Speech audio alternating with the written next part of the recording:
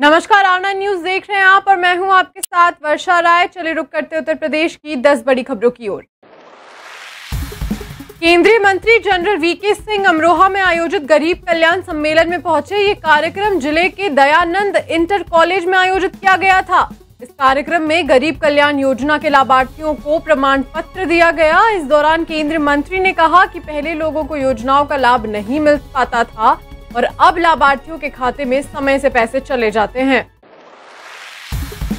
UP में बेरोजगारी पर प्रशासन ने बड़ा फैसला लिया है। इसी क्रम में वित्त मंत्री सुरेश खन्ना ने ट्वीट करते हुए सरकार के इस कदम की जानकारी दी। वित्त मंत्री ने ट्वीट करके बताया कि यूपी पुलिस में चालीस हज़ार पदों पर भर्ती होगी, जिसके लिए चयन बोर्ड से भर्ती के लिए मंजूरी ले ली गई है। समाजवादी पार्टी के नेता आज़म खान की रेगुलर बेल पर सुनवाई के बाद कोर्ट ने फैसला सुरक्षित रख लिया है। ये सुनवाई आरपीएस स्कूल की बिल्डिंग के फर्जी सर्टिफिकेट के मामले में एमपी एमएलए कोर्ट में हुई, जिसमें आज़म खान की रेगुलर बेल पर सुनवाई के बाद कोर्ट ने आदेश रिज़र्व कर लिया है। उन्नाव में विश्व रक्तदान दिवस के मौके पर इंडियन रेड क्रॉस सोसाइटी ने रक्तदान शिविर का आयोजन किया। इस कार्यक्रम का उद्घाटन सांसद साक्षी महाराज ने फीता काट कर किया। इसके साथ ही सांसद ने रक्तदान करने आए लोगों में फल और जूस बांटे और रक्तदान करने वालों को प्रमाण पत्र भी दिया। साथ ही साक्षी महाराज ने लोगों से आगे आकर रक्तदान करने की अपील भी की। कासगंज जनपद में डीआईजी दीपक कुमार और एसपी रोहन प्रमोद बोत्रे की मौजूदगी में शांति समिति बैठक का आयोजन किया गया।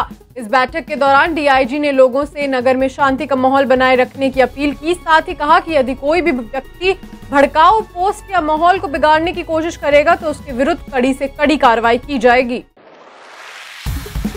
उन्नाव में चलती हुई कार में आग लगने के बाद अफरा तफरी मच गई। कानपुर लखनऊ हाईवे पर चलती कार में आग लगने पर सवारी कर रहे लोगों ने कार से कूदकर अपनी जान बचाई।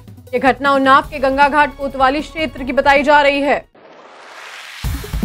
मथुरा के एक सीएनजी पंप के गोदाम में भीषण आग लगने से इलाके में दहशत का माहौल बन गया। हालाँकि आग लगने का कारण स्पष्ट नहीं हो पाया है। ये घटना कोसी कला थाना क्षेत्र के कोटवन की है, जहाँ सूचना मिलने के बाद मौके पर पहुँची दमकल विभाग की टीम ने कड़ी मशक्कत के बाद आग पर काबू पाया प्रतापगढ़ में नवोदय विद्यालय में भीषण आग लग गई, जिसमें रजाई, गद्दे, ड्रेस समेत लाखों की किताबें जलकर राख हो गईं। ये घटना जेठवारा थाने के नारायणपुर स्थित नवोदय विद्यालय का है, जहाँ मौके पर पहुँची दमकल विभाग ने आग पर काबू पाया बिजनौर के अफजलगढ़ क्षेत्र में डायरिया से एक सप्ताह में तीन लोगों की मौत से स्वास्थ्य विभाग में अलर्ट जारी कर दिया गया है। सूचना पर पहुँची स्वास्थ्य विभाग की टीम ने जाँच पड़ताल की। इसी दौरान चिकित्सा प्रभारी सर्वेश निराला ने बताया कि गाँव में चिकित्सा शिविर का आयोजन किया गया है, जिसमें लगभग 50 लोगों से अधिक को दवाइयाँ दी गई और जाँच कराई गई है। श्रावस्ती में पुलिस ने पंद्रह हज़ार के इनामी अपराधी को गिरफ़्तार कर लिया है। आरोपी कई दिनों से फरार चल रहा था, जिसे जिला पुलिस ने गुलरा नहर पुल से गिरफ़्तार किया है। ये घटना सिरसिया के बालनपुर बसंतपुर का है।